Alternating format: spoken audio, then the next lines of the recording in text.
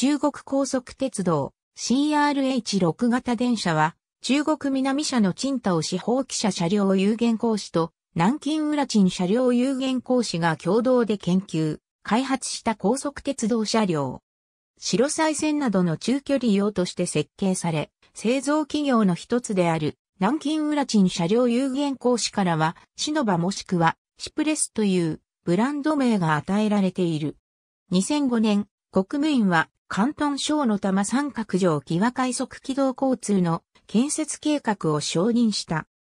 2009年12月、中国南社南京浦鎮上、汽車両有限責任公司と関東省の東南上木は軌道交通有限責任公司が玉、三角上木は快速軌道交通の歩太い負荷上木は、軌道交通、太い、恵み上木は軌道交通に、総額23億4600万元で車両を提供する契約を結んだ。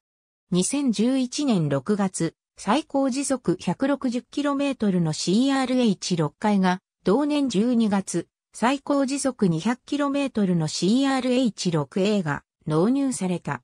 その後、2013年7月3日にようやく CRH6 階が営業運転を開始した。